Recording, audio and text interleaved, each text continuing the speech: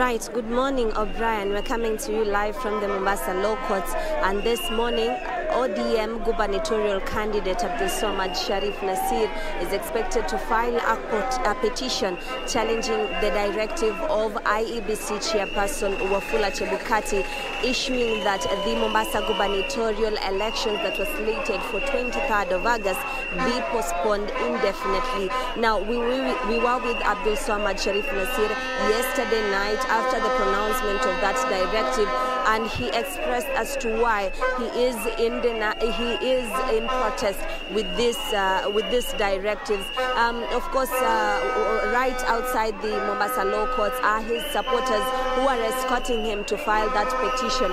According to Abdul Swamad Sharif Nasir, he says that the uh, directives are unconstitutional and that he he he he he feels that the directives are malicious and should shouldn't have been directed. He says that uh, once the directive were issued to postpone earlier on this month, he says that they were supposed to um, uh, promote voter apathy in this region, to promote a certain candidate to be able to um, uh, win in the governor in the presidential race. However, um, those are claims that he is just making, and to, today morning he's expected to come here and see if the courts will uh, assist him in uh, getting orders that will allow that election that is slated for 23rd to proceed without any hitches. Now, Wafula Chebukati yesterday pointed out that he has postponed the Mombasa gubernatorial and Kakamega gubernatorial election based on uh, harassment, alleged harassment of IEBC staff um, at the National Tallying Center. And this harassment at the National Tallying Center has led to other IEBC officials across the country feel uh, afraid to do to discharge their duties. Hence, he cannot conduct the elections, or the commission cannot conduct the elections that were slated.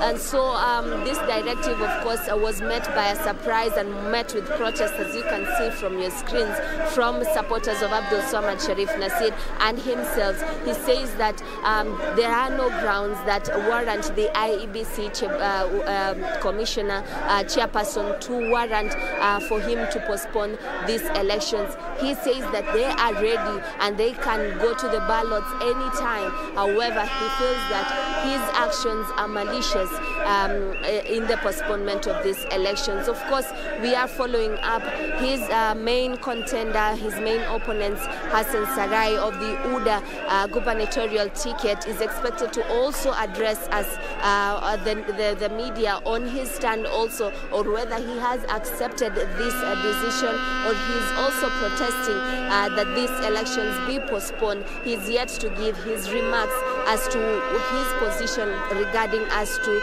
the postponement of this election. However, according to Abdul Swamad Sharif Nasir, he insists he wants the elections to be conducted on the 23rd constitutionally he has to go to court, challenge the decision by IEBC chairperson. Then if the court give any direction on the matter, then the elections will be uh, conducted on the 23rd. But as it stands, the IEBC chairperson, Wafula Chebukati, um, um, has insisted that the elections of the Mombasa gubernatorial will be postponed indefinitely. So we are waiting the arrival of the gubernatorial candidate who is also the sitting uh, member of parliament in the in the last uh, legislation, um, Abdul Swamad Sharif Nasiri was the uh, Mvita member of parliament to come and address his supporters because they are charged here from as early as 9 a.m. The supporters were here waiting for him to come and file that uh, petition to have the directive be uh, thrown out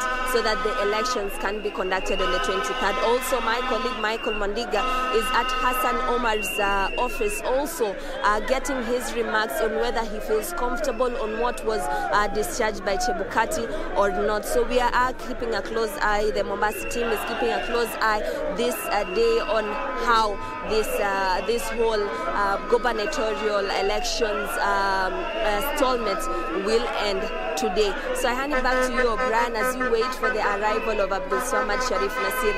His lawyers are already arrived. Of course, we have seen some of the elected leaders and some of those who are backing his candidature right behind me. So they're just waiting for his arrival. We see what the court will uh, give direction on the pronouncement on the matter, and then from there, then we will understand how this whole stalemate will be resolved. The Hassan Omar is also supposed to give his turn. We also wait for his um, for his word on the directions that were given by Chebukati. So, Brian, we are here keeping a close eye. I'm handing back to you back in the studio.